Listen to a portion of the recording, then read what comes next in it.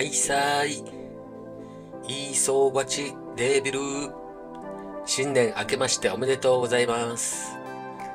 YouTube ユンタウェイ沖縄 TV と Twitter 沖縄の魅力を届けたいをいつも見てくれてありがとうございます。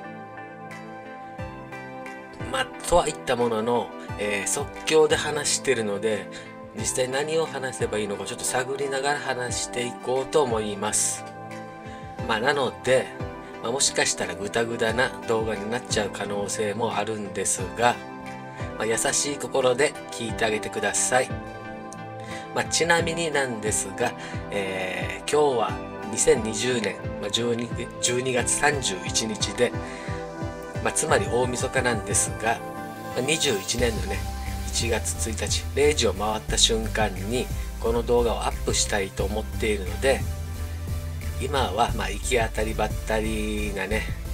前撮りで撮ってる感じです、まあ、それで急遽今回この動画を作ってる理由なんですが日頃いつも僕の配信を見てくれている人への感謝の気持ちと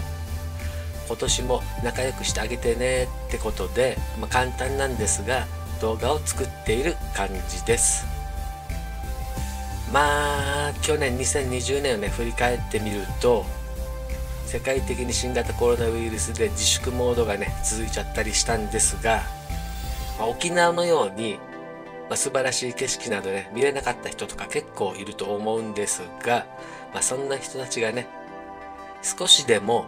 沖縄に旅行した気分を味わえたり少しでもんなんだろう沖縄を好きになってもらえたら僕はめちゃくちゃ嬉しいです。それで、まあ、2021年のね今年もまた沖縄県あっちこっちへと出向いて沖縄の魅力を届けたいと考えていますのでどうか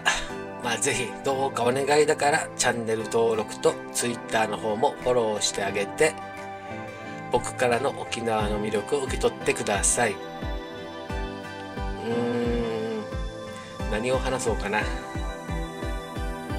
よし、えー去年は本当にありがとうございました。そして今年もどうかよろしくお願いします、まあ、ぶっちゃけ言うと年末にね僕のおばあちゃんが亡くなってしまったので実際は夢中なんですが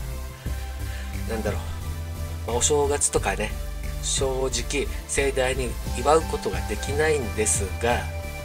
今年も皆様が幸せに暮らせるよう沖縄から願っております。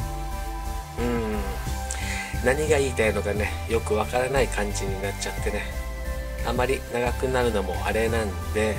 まあ最後になりますが締めの挨拶的なやつをやりたいと思います。